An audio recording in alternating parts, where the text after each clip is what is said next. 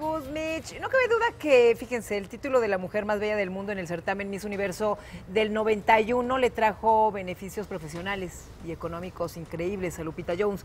Pero ahora que tiene ya 50 años y que se ve maravillosa, ¿eh?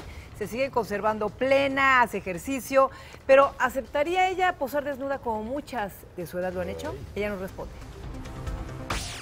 No, no, no, no.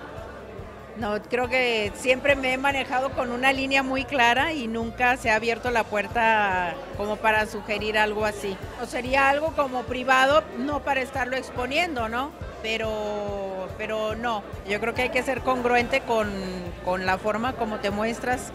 eh, no solamente ante la gente, sino congruente contigo misma, ¿no? Que finalmente eso es lo que proyectas hacia afuera. Y pues eh, admiro y reconozco mucho el, el trabajo. Mira, pues qué bueno que dijo que no, porque efectivamente, aparte que a mí no me gustaría verla, eh, yo creo que no será congruente porque fue una mujer que decía que eso era muy vulgar a todas las participantes de este certamen, entonces pues se hubiera mordido la lengua ya sola, ver, verla ahí desnuda, mira, ¿no? Número uno, ella no sabes cómo se cuida eh, de, de unos años para acá, va al gimnasio, está marcadísima, tiene un cuerpo muy bonito. Y, Sí, tiene eh, un cuerpo trabajado. A mí no, sí, no sí, es de mi agrado Lupita, pero tiene un Pero cuerpo tiene un trabajado. cuerpo, sí, muy bonito.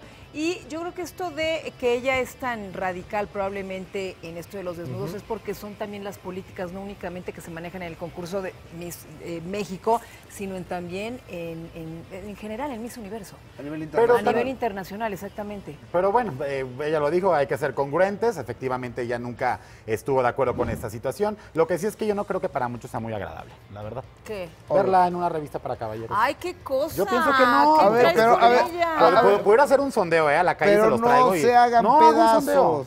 ¿Eh? No se hagan pedazos. No va a posar. No. Pero queremos saber si sería agradable o no. Yo puedo hacer un sondeo a la calle si quieren y la otra semana se los traigo.